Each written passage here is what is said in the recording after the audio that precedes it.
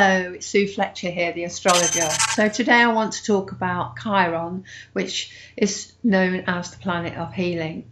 So Chiron was spotted in the sky back in 1977 by an astronomer called Charles Kowal. He was a, a Canadian astronomer, not an astrologer, an astronomer. And um, yes, and at that time it was just when um, alternative therapies were um, being, um, yeah, coming into the fore really. Um, so things like reflexology or massage or um, a bit of chiro- chiropractic work or osteopathy or acupuncture, all those things were, you know, was slightly coming in at that time. And um, actually, if you were doing those kind of things, uh, you were thought to be a bit strange because it wasn't mainstream then at all. But now, all those years later, we know that um, a lot of those things um, are actually in the hospitals. Um, I know reflexology is, and I know Reiki is, and uh, acupuncture is, and counselling is. Um, stress release is meditation. So lots of um, alternative um, things are now in in um, in the hospitals, which is which is great. So you can see how far we've come in a relatively short space of time. So Chiron um, was um, half man, half beast, half horse, and his parents um, could shape change. And so um, obviously when they mated, they were horses, and then his mother um, changed into a humanoid but she just didn't want him. She just couldn't look at him. She, she was disgusted because he was half um, horse and half man. And so she discarded him and she actually asked to be changed into anything rather than be his mother. So she was turned into a linden tree. And Chiron was brought up by Apollo and he was taught um, about medicine and healing and homeopathy, but he was also taught the other side of the coin. He was taught he taught war and archery, um, and so he knew about wounds uh, from both sides. Um, but he was a very gentle centaur, and usually the centaurs are very boisterous. They were known to be drinkers, um, have no manners. They were raped, raped and pillaged, and they took what they want wanted. And Chiron wasn't like that. He was a very gentle soul, and he was said to be the first astrologer and a shaman. So. Um, where we have Chiron in our birth chart represents where we have our wound. And um, it actually takes 50 years to go around our birth chart um, from when we were born. And by the time we get to 50, then we really need to have healed the wound on the way round, it will square itself and then oppose itself and square itself again before it comes back to the exact position of where it was on the day that you were born. And at those times, the wound will come up to be looked at. There will be an element in your life where it will show, and you will be asked, um, you know, to have a look at it and try and heal it. And this is important because we don't want um, our wound to affect uh, future generations, so our children and our children's children. Because as we know, we all have stories in our lives which we know and we've grown up with, and those stories really, uh, you know, need to be healed. So let's look at where it is in, in the chart. So if you have it in the first house, and I actually have it in the first house, um, then your wound is something that you couldn't possibly do anything about. And for me, my father passed away when I was six, so that's my wound, and I have done a lot of work on it. And um, when I was 50, it's interesting that I was doing a counselling certificate at my local college and I'd not thought about my father, but I had to, at that time, I had to talk about him, I had to write about him, and I had to face it. And I kind of realised that it had affected my life uh, in a lot of ways, um, deeply emotional ways. And so, obviously, at that time, then I had to um, heal uh, the wound, and I went on to do lots of um, family constellation work, which, if you Google, is a great way to to actually heal your wound. It's um, it's very powerful and it's very well worth doing.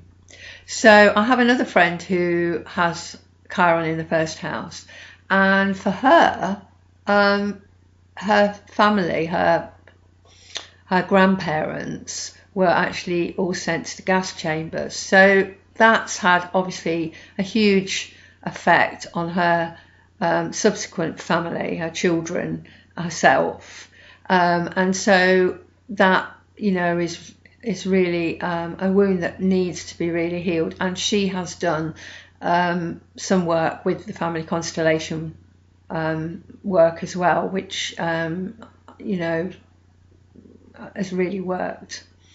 So you might have Chiron in the second house. So if you have it in the second house, the house of how you earn your money, and it's the house of self worth, it might be that you have a problem with money, or it could be that your parents or your grandparents had a problem with money. Maybe they couldn't keep it, maybe they went bankrupt, and this is the family story. And maybe you're frightened of going down the same path. It could be. It could then ultimately affect your self worth. So there could be issues about self worth there as well. So then we come to the third house. Well, the third house is the house of communication and talking and speech. So it could be that there's a problem with speech. It could be that you're shy. Um, it could be that you've got a stammer. It could be that you were told to shut up and you you know you never felt that anything you said was valued. So it could come out in um, in a few areas but it it was probably to do with communication. It could also be something to do with your brothers or sisters if you have any. It could be that you haven't got any brothers and sisters and you wish you'd had a brother or a sister. So it could it could come out in that way as well your wound Okay, so then we come to the fourth house. So the, the fourth house is the house of home and your roots and your ancestors. So there could be um, a wound um, to do with your ancestors. Um, it could be that home when you were small was a battleground. Maybe there were lots of rows. Uh, it could be that um, you feel that you again um, you were you weren't listened to but it's ultimately something to do with the family in some way. So, um, you could, because it's the fourth house of home and roots, it could be to, to do with um, a, a mother or a father. Because the fourth house and the tenth house are both to do with parents. So, if that's the case, that might have actually affected you and your life so then we come to the fifth house. Well, whenever I've seen it in the fifth house, it is about the wounding of the inner child. So something's happened and you've, you, you're very wounded inside. Even if you're a grown up, you're wounded and you've carried that wound since childhood. And once you've cleared that wound, then maybe you go on to help other people um, with their, if they have a wound or if they feel that they you know they were persecuted when they were when they were small. It is the house of children, so it could be to do with not having any children, or it could be that you have had problems with having children, or your children are a problem, or not having children. It could be any of those as well. So then we come to the sixth house. So the sixth house is the house of hope, of work, and health. And again, I've seen Chiron in the six, you know, with people who have, have an illness and they cure that illness and then they go on to help other people with the same thing. So very often a six house Chiron person will end up being a healer of some sort. And obviously it's the house of work. So you could have a, a wound to do with work maybe you know you whatever you do you don't like or you don't enjoy or you can't find what what um, you know is your passion. So it could be to do with that as well. So then we come to the seventh house and the seventh is the relationship house. And again i've seen this in people's charts who have problems with relationships. And this could be um, either sex. So i know somebody who's a male and he's had problems with men taking from him, um, pulling the wool over his eyes, taking money from him. They've been in business together. But I've also seen um, problems with people with um, relationships with, um, you know, like their partner as well. And it's like they've come to learn about relationships and um, once they do, once they stop making the same mistakes, you know, because maybe they're quite trusting and then they get taken for a ride again. Um, if if they learn by their mistake and they heal their wound, then it doesn't happen anymore. So now we come to the eighth house, and the eighth house is the psychic house, and it might be that you're psychic. It could be that you uh, a psychic and you don't want to be psychic. It could be that you um, maybe get um, messages and you don't want that. You feel you're wounded by it. Or um, it could be that you pick up on atmospheres um, you're, you know, you can pick up on energy and you take other people's negative energy in, and that can be a wound. And you could have done that all your life. So, in a way, you what you have to do is protect yourself from other people. Um, so that you, this doesn't happen. There could be a problem um, with with um, relationships. It could be sexual um, because it's it's it's it is the house of um, of uh, yeah of, of, sex as well. So it could be uh, that you have a problem um, in that way too. So then we come to the ninth house. So the ninth house is the religious house. It's the house of philosophy. It's the house of higher learning. It's the house of long distance travel. So your wound could be to do with any of those. Um, it could be, it's also the house of belief. So it could be that your parents and your grandparents um, were strongly religious and you aren't, and then this has been become a bit of a wound because maybe they don't want to speak to you, or you you know you've been told that you know they've got you've got to follow their way and you haven't done, and so there's a wound there. Um, it could also be that you will learn from this and again go on to help other people, and you could well be a teacher uh, okay, so the 10th house. The 10th house is the career house, but it's also the other parental house. So you could um, have a problem with your mother or your father, but I have seen it with people who have problems with their mother. Uh, maybe the mother's not there for them emotionally, or they've got an illness, or they we're not mothering enough, or it could be anything um, to do with a parent or a mother. Um, because it's to do with work, I have again found that people um, will heal that wound and then they go on to help other people um, and, and they change their career um, and end up as a healer of some sort, probably a counsellor. okay, so now we come to the 11th house. And the 11th house is the house of groups. It's the house of the world. Um, it's the house of the community.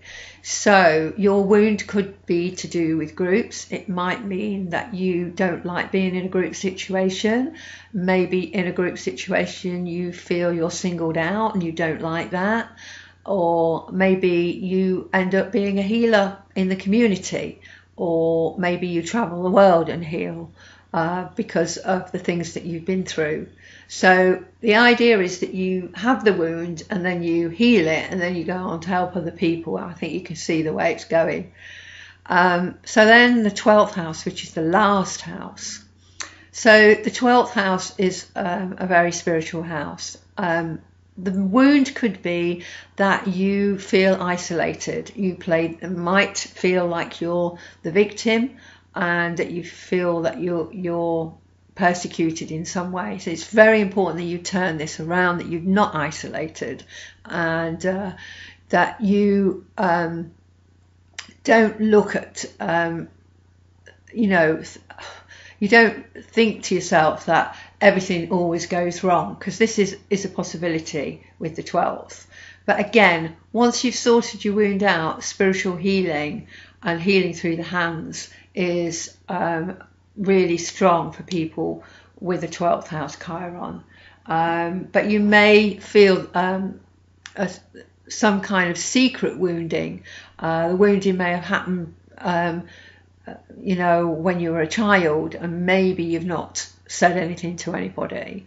Uh, you may have dreams, um, and but definitely, I think with the 12th house Chiron, you've brought um, healing with you into this lifetime to be used. Now, obviously, unless you have your chart looked at by somebody, you don't know where your Chiron is. So um, you could make a guess from what I've said. Um, but um, as I said earlier, it is really important that we forgive, uh, you know, the people that have uh, wounded us, and um, that's because we don't need to tell these people, by the way, we can do it silently. Um, but we need to clear it for the future generations because we know if it's not cleared, then it affects our children and our children's children.